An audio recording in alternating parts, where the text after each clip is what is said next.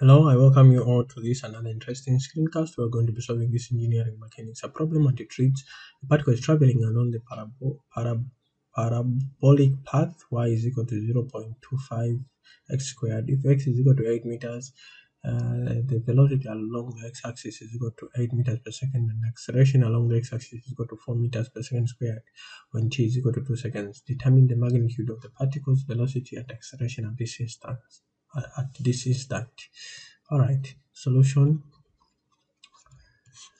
Okay. So we have been asked to find uh, the magnitude of the particle's velocity and acceleration at the instant t is equal to 2 seconds okay. And uh, x is equal to 8 meters. And we've been given these are the velocities in the x and the acceleration in the in the x as well. All right. So uh, y is equal to 0 0.25x squared.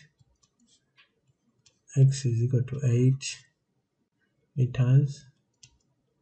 V of x is equal to 8 meters per second. And uh, a of x is going to be equal to 4 meters per second squared at t is equal to 2 seconds.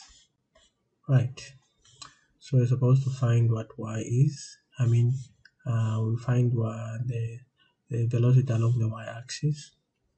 We know that our velocity in the y is going to be equal to uh, v subscript y is going to be equal to y dot which is equal to and dy over dx using the chain rule times um, times dx dt. We know that our dx dt is equal to x dot which is equal to 8 meters at at t is equal to 2 seconds. So v of y is going to be equal to what is y dx of this is a 2 by 0 0.25 x. Alright just one minute. I just write what this is what I replace the 2 so dy dx is equal to uh, 2 by 0 0.25 x which is equal to 0 0.5x and therefore uh, v velocity in the y direction is going to be equal to replacing there to 0 0.13 2 seconds at at at x is equal to 8 meters? Okay.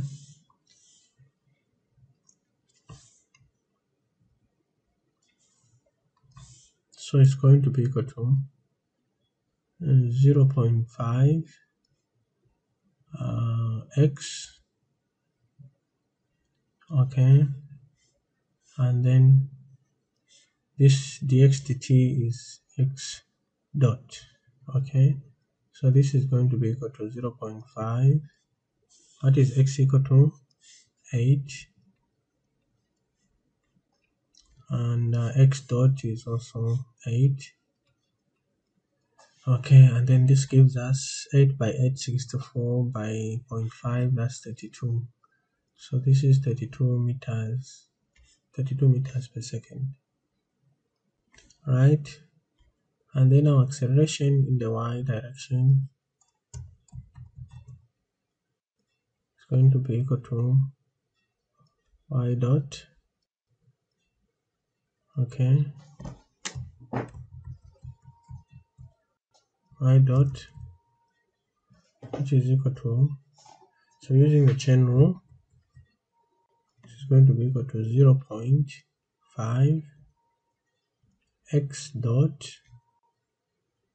um, x dot x so plus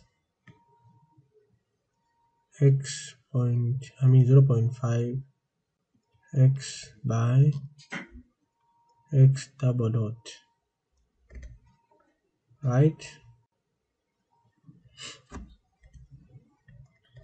Okay. So therefore this is going to be equal to 0 0.5 what is x dot is 8 so it's 8 by 8 plus 0 0.5 what is x? X is also 8 what is double dot okay acceleration in the x direction is what is 4 so this gives us this gives us ay is going to be equal to this one is used to 4 that's all. 32 32 plus this one is 32 this one is 32